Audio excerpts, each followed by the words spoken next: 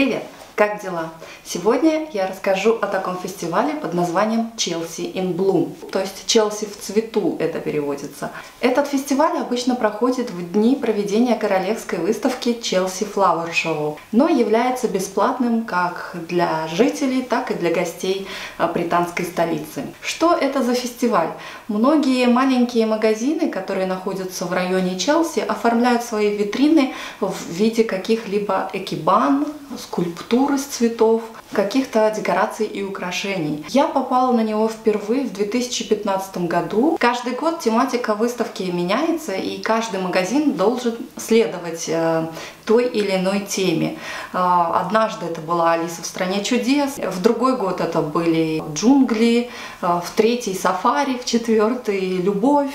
В пятый, в прошлом году, например, была морская тематика. И все магазины, которые участвуют в этом фестивале, должны украсить свои витрины или двери согласно этой тематике. Поначалу люди не знали об этом фестивале, и участие в этом мероприятии э, принимало небольшое количество магазинов, около 30. В основном в людных и проходных местах, а, например, на Слоун Сквер, э, которая находится рядом с музеем Саач Gallery, а также в районе элитных магазинов в Найтсбридже, недалеко от Хартс. На самой Слоун Сквер всегда находится, так скажем, офис этого фестиваля, где девушки раздают каждому желающему карту, где и что находится. И по номерам можно пройти и посмотреть абсолютно все экибаны. Кроме того, там же базируется велосипедная прогулка, то есть рикши в рамках фестиваля Челси in Bloom предлагают прокатить а, людей по всем этим живописным местам, которые оформлены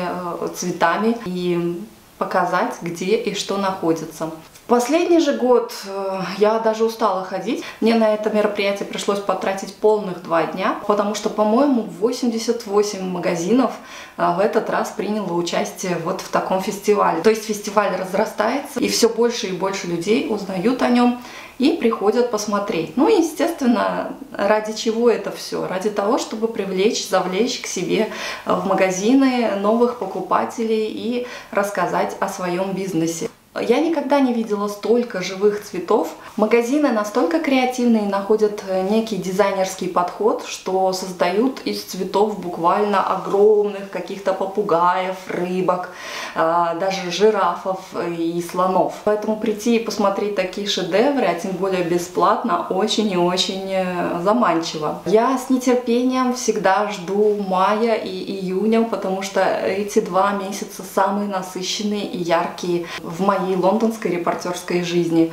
А, если май — это фестивали цветов, то июнь — это королевские события. Про красочный парад королевских войск и про королевские скачки в Аскоте я скоро вам расскажу. Не забудьте подписаться на мой канал, чтобы не пропустить. А пока же продолжаю про фестиваль «Челси в цвету». Я хожу снимать этот фестиваль целенаправленно, жду с нетерпением этих дней, когда же откроется э, эта бесплатная выставка э, Экибан цветов и красоты. Даже иногда уже в последние годы наряжаюсь специально, чтобы красивые фотографии сделать, поэтому в прошлом году я ходила в таком ярком солнечном пиджаке и фотографировала мне очень понравилась акула, созданная из цветов, которая находилась э, не на главной улице, ее надо было найти. Ее представляла стоматологическая поликлиника, и я поговорила с владельцами. Они как раз там поправляли цветочки, из которых была создана акула. И э, они сказали, если вам нравится, то, пожалуйста, проголосуйте за наше искусство. Оказывается, э, ну я и раньше об этом знала, но никогда не голосовала. Это фестиваль не только просто порадовать зрителей и привлечь к себе новых клиентов, но также и фестиваль на лучшую экибану, созданную из цветов.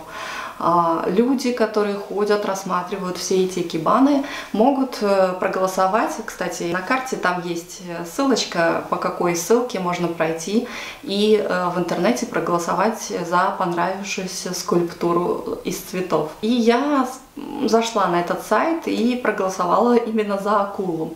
Ну, конечно, помимо акулы было очень много интересных, таких красивых скульптур. Мне очень понравилось кресло Тристана, где можно было сесть, надеть на себя корону э, морского царя, взять трезубец и сфотографироваться. Но, к сожалению, эта скульптура была запрятана, она была рядом с отелем, по-моему, на Кадаган Сквер, точно не скажу, но э, там очень мало проходило людей, и мне пришлось кого-то просить, вот буквально один человек за полчаса прошел, и я попросила меня сфотографировать, и у меня есть такая фотография, мне очень понравилась она. Конечно, не совсем то, что я хотела, не такая профессиональная, но на память осталась, и я довольна. Помимо этого, море разных рыбок, морских звезд, э, жемчужных раковин, очень много всего было в том году. Э, я действительно потратила на это два дня,